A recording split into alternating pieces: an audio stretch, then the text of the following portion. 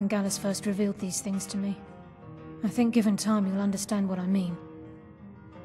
As a Nightingale, I've been sworn to secrecy regarding the Sepulchre. I know the Guild doesn't do much to foster faith, but I'm going to have to ask that you continue to trust me. I'll make for Riften and scout the situation, see if I can discover what Mercer's up to. When you're ready, meet me at the Ragged Flagon. In the meantime, I wanted you to have this.